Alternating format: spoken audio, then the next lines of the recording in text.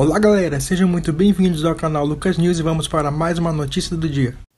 Mais uma triste notícia vem abalando o mundo dos famosos. Infelizmente estamos em um momento ruim de coronavírus em que devemos ter todo o cuidado. Aqui teremos duas notícias, então fique por dentro para entender todo o conteúdo. O ator Fábio Lago, intérprete de Nick Gay em O Outro Lado do Paraíso, foi atropelado enquanto andava de bicicleta no Rio de Janeiro. Ele estava internado no Hospital Copa. O ator foi levado ao Hospital Municipal Miguel Couto, no bairro da Gávea, e, de acordo com a assessoria de imprensa do Hospital Municipal, o ator passou por exames e foi constatada uma luxação no ombro. Após a liberação, ele foi transferido para o Hospital Copa do Fábio Lago atualmente está de férias e o outro lado do paraíso foi um destaque do ator com o personagem Nick e também fez um papel bastante importante em Tropa de Elite com o personagem baiano.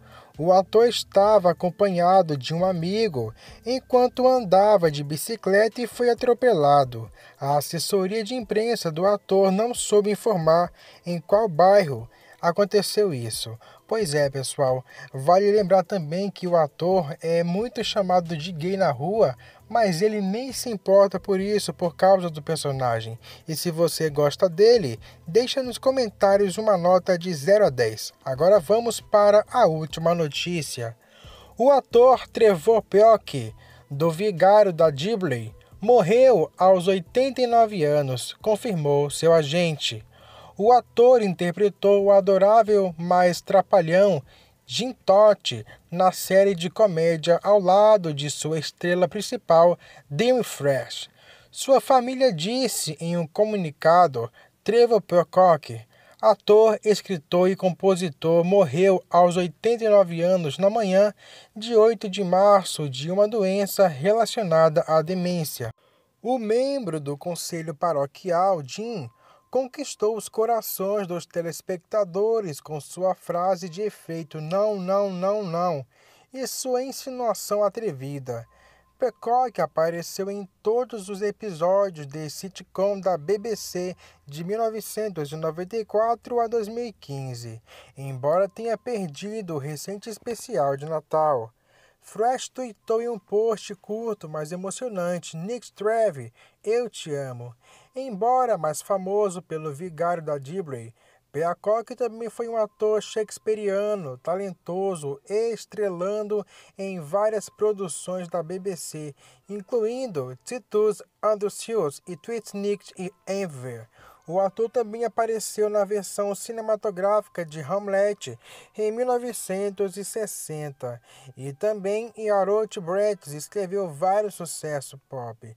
Prestando homenagem, seus agentes Scott Marshall e Petson disseram no Twitter, relembrando nosso maravilhoso cliente Trevor. Peoc, que morreu pacificamente ontem, um gênio cômico, um dos melhores humanos, sentiremos muito sua falta. A BBC disse: Estamos tristes em saber da morte do ator Trevor Peacock. Pois é, pessoal, momentos complicados esses que estamos vivendo de pandemia em que todo o cuidado acaba sendo pouco, porém é muito necessário. E muitas pessoas estão morrendo por causa disso e deixando famílias totalmente desesperadas.